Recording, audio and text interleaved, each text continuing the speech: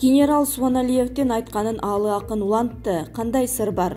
Бүтүн кыргызстан партиясынын съездинде генерал өмүрбек субаналиев кылмыш дүйнөсү баш көтөргөнүн эскертип алар менен аяосуз күрөшүүнү ачыктаган мамлекетке коркунуч келгенин баса белгилеп бул билдирүү коомчулукта талкуу жаратып күч органдары актанганга үлгүрүшкөн эгемендүүлүк майрамына карата отуз биринчи августта аалы туткучев ала тоо аянтында сенсация жаратты. Таластык акеси өмүрбек субаналиевдин айтканын улантып коррупцияны соттордун сок билегин жана кылмыштуулукту ырдап ошондой эле добуштар уурдалаарын адилетсиздик ар тараптан кысканын төккөн сооронбай жээнбековдун астында өз чындыгын тайманбай айткан аалы акынды коомчулук алкууга алышты мурдагы төбөлдөр ачуу сынды уга алышчу эмес. Булсам ажообуз сабырдуулукта баарын тыңдап эртеси планда жок коопсуздук кеңешинин жыйынын өткөрдү.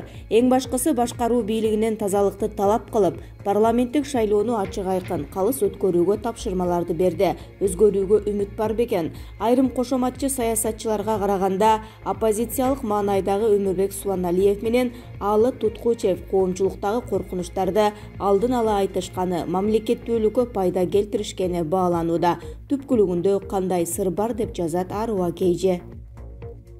Жөн эле тынч жүрсө дейсиң аалы туткучевдин жубайы жолдошуна кабатырланды отуз биринчи августта кыргызстандын эгемендүүлүгүнүн жыйырма тогуз жылдыгы белгиленди. Ага карата бишкек шаарынын борбордук аянтында салтанат уюштурулган. Анда төкмө акын аалы туткучев президентке уруксат бекен элдин үнүн жеткирип койгонго деп азыркы бийликке сотторго шайлоонун таза өтпөй жатканын ыр менен төгүп айткан акындын жубайы журналист жазгүл жамангулова кечээ биринчи сентябрда фейсбуктагы баракчасына чындык деп чыркыраган жолдошуна кабатырланып төмөнкү билдирүүнү жазган кызыгы биздин кишинин сыйлык менен деле иши жок экенин көптөр билбестер чын чынына келгенде улам жылдар арбып бири бирибизди кооруп аяп калган үчүнбү кудайым суук көз суук сөздөн алыс кылса экен деп бир четте күйрөнөм. Улам үнү кысылып анысын жашырып бырышып кыйналып терде бырдаган сайын жөн эле тынч жүрсө дейсиң ден соолугун аяйсың ар бир жар ошентет сахнада курч болгону менен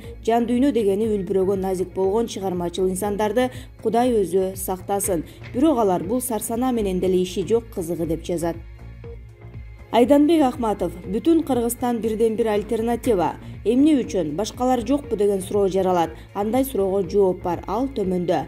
Бүтүн кыргызстан партиясы гана азыркы жоопкерсиз башаламан бийлик системасын алмаштырууну криминал жана ашынган коррупционерлердин бийлик менен жуурулушуусун токтотууну ачык айтып чыкты. Бүтүн кыргызстан жогорку кеңештин депутаттарын шайлоону партияларга эмес элдин өзүнө кайтарып берүүнү бир мандаттуу округдардан шайлоонун программасында так белгиледи бүткүл эл тарабынан шайланган президент аткаруу бийлигинин башында туруп жоопкерчиликти алсын. Азыркыдай президент да өкмөт да жооп бербеген чаржайыттык жоюлсун деп дагы айтты сот системасын президент жана анын аппаратынын кол алдынан чыгарып чыныгы көз карандысыз сот системасын түзүүнү сунуштады. Анткени соттор бийликтин буйругун аткарып саясий коррупцияны гүлдөтүп жатат. Азыркы кезде иштебеген системага мына ушундай альтернатива сунуштады.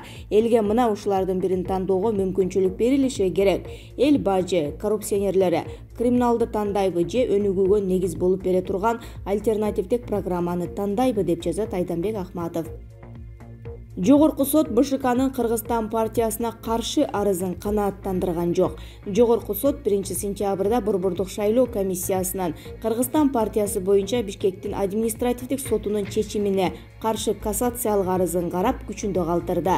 Чечим дароо күчүнө кирет үстүнөн арызданууга болбойт. Бшк жыйырма төртүнчү августта парламенттик шайлоого аттанган партиялардан тийиштүү документтерди кабыл алууну жыйынтыктап он жети партия эрежелерди аткарганын расмий кабарлаган бирок документ тапшырууда мыйзам бузган деген негиз менен кыргызстан партиясынын документтери жыйырма бешинчи августта артка кайтарылган. Кыргызстан бшкнын чечимине каршы бишкектин административдик сотуна кайрылып жыйырма жетинчи августта судья чолпон досмамбетова партиянын арызын канааттандырган. Бул чечимге каршы болгон бшк жогорку сотко арызданган отурум маалында жогорку соттун алдында кыргызстан партиясын шайлоодон четтетүүнү талап кылган жарандык активисттер менен шайлоого бараткан айрым партиялардын мүчөлөрү нааразычылык акциясын өткөрүштү. Ошол эле кезде кыргызстан партиясынын да бир нече тарапташтары акцияга чыгып таза шайлоо деп кыйкырып турушту байлар баягылар биримдик партиясына бирикти коомчулукта аталган партиянын тизмектелген тизмеси талкуу жаратты. Алардын катарында сөз эркиндигине бөгөт коем деген гүлшат асылбаева манап мүнөздүү азамат арапбаев президенттин өзүнүн уялаш иниси асылбек жээнбеков сдпк партиясынын лидери иса өмүркулов жаш кезинде кыз зордуктоого шектелген шектүү төрөбай зулпукаров данил урыцкий данияр арбактын көрүнчүсүнүн аялы динара исаева дагы бар. Дагы көптөгөн байлыкты мыкчыган мыкчыгерлер бара жатат. Айта кетсек биримдик партиясынын бийликтин номер биринчи партиясы аталып келет. Азыркы бийлик деле эски бийликтен айырмаланбай ошолордун ошолорун кайталагандай. Качан кайталанба жолдон качабыз? Баягылар дагы баягысын кыла берет. Орун алмашуудан сум өзгөрбөйт. Ушулар дагы келсе өзгөрүү болбой өзгөчө болоору анык деп жазат кубат койчиев. Президент жеңилүү ызаасына алдырып тарапташтарды көтөрүп көчөгө алып чыккан эски көрүнүштөрдү таштайлы шайлоолордун таза өтүшү өлкөбүздүн мындан ары өнүгүүсүнүн негизги шарты. Буга баарыбыз жоопкербиз. Шайлоонун ачык өтүүсү камсыздалат жана кепилдик берилет деп президент катары мен буга чейин айтып келгем. Айтканымды аткарып келе жатам жана аткарам. Президент катары мамлекеттин эгемендүүлүгүн бүтүндүгүн эл биримдигин тынчтыгын сактоо менин негизги милдетим ошондуктан саясий партияларды алардын жактоочуларын командаларды шайлоо өнөктүгүнүн жүрүшүндө ар кандай мыйзам бузуу аракеттеринен алыс болууга чакырам деп баса белгиледи кыргыз республикасынын президенти сооронбай жээнбеков. Кечээ биринчи сентябрда чакан курамдагы коопсуздук кеңешинин кезектеги отурумунда. Мамлекет башчысы биздин коом ачык экенин жарандык коом көзөмөлдөөчү позициясын активдүү билдирип мыйзамсыз аракеттерге өз баасын бере алаарын белгиледи. Парламентке аттанган партияларды тандоо укугу элде элибиз чоң жоопкерчилик менен алдыдагы тарыхый мүмкүнчүлүктү туура пайдаланат деп ишенем деп баса белгиледи жээнбеков. Мамлекет башчысы коомдун тынчтыгын бузууга жарандардын тандоосуна каршы аракеттер болуусуна жол берилбеш керек деген өзгөчө белгиледи шайлоону элдин жашоосуна бүлүк салбай мамлекеттеги тынчтыкка кедерги тийгизбей өткөрүүгө милдеттүүбүз. Саясий күчтөрдүн элди бөлүүгө коомдогу тынчтыкты жарандардын укугун бузууга жол берилбес деген дагы бир жолу эскертем деп баса белгиледи. Ал кандай гана күрөш таймашуу болбосун жеңилген тарап болоорун шайлоого аттанган саясатчылар амбицияны ары таштап утулуп калса элди толкотуп туура эмес жолдорго түртпөстөн өз аброюн жоготпой татыктуу жеңилгенин да билиши керектигин кошумчалады жеңилүү ызаасына алдырып тарапташтарды көтөрүп көчөгө алып чыккан эски көрүнүштөрдү таштайлы жарандарды ыплас саясий оюндарга тартпайлы анткени дал ушундай тескери аракеттер кандай гана өлкө болбосун артка тартат биздин өлкөнү да аксатат деп баса белгиледи мамлекет башчы.